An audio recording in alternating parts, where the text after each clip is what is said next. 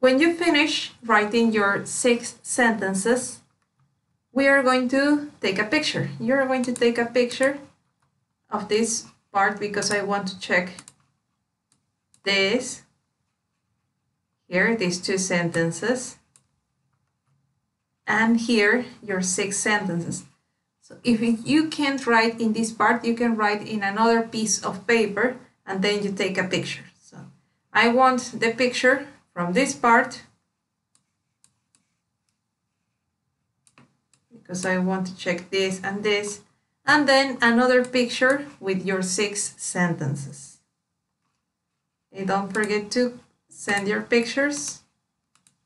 And now we are going to the page number. What number says it? it says here 102. So please go to 102. Oh, here we have filling out forms. Filling out. The word fill es llenar en Spanish. Pero fill out es completar, o sea, llenar todo, completarlo. Forms in Spanish es formularios. An application form. Application no es aplicación, es postular. Un formulario para postular, un formulario de postulación. An application form. So here you have Lena's application. So she's Lena Prentice. So you are going to use the information to talk about Lena.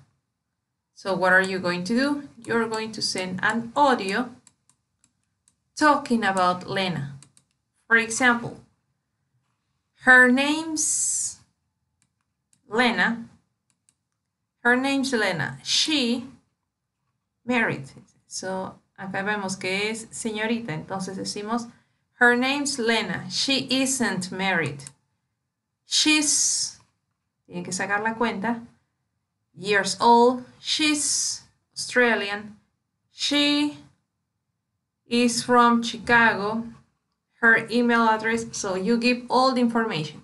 Use these expressions. Usen estas expresiones y tienen que agregar más expresiones para poder completar toda la información sobre ella. Pueden repetir el she, el she isn't, o she has, o she likes. Ejemplo, she likes swimming. Ah, aquí tenemos vocabulario nuevo. Indoor and outdoor tennis. Outdoor tennis es el tenis que conocemos, ¿no? Al aire libre. Indoor tennis es lo mismo, pero con techo. Les voy a enseñar una imagen en el siguiente video.